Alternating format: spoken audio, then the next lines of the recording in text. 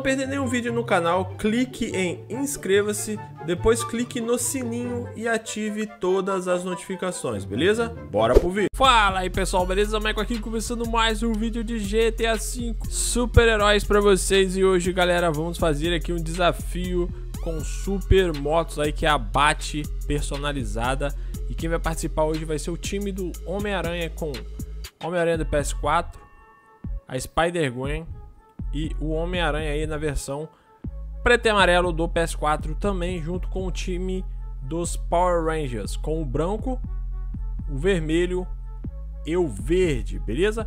E vai ser esse aqui o percurso que a gente vai fazer hoje, parece que o percurso tá bem da hora aí, olha só. Tem que passar ali por cima, tem uma, uma rampa de... uma rampa não, né? Tem uma pista de, de caixão aqui, bem da hora. E aqui também tem algumas coisinhas pulou ali. Acho que o mais difícil vai ser nessa plataforma aqui.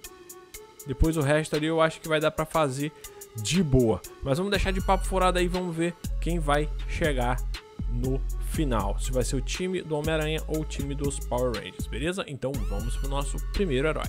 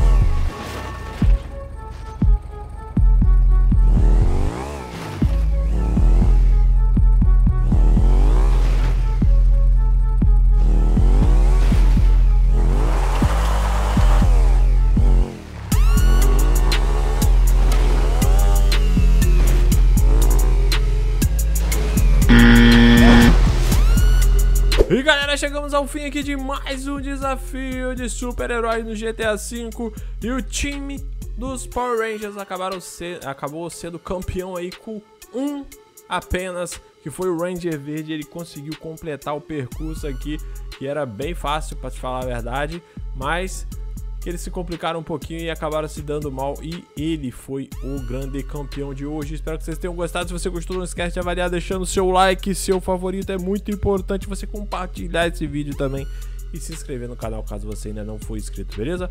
Vou terminando por aqui. Um abraço, até a próxima e falou!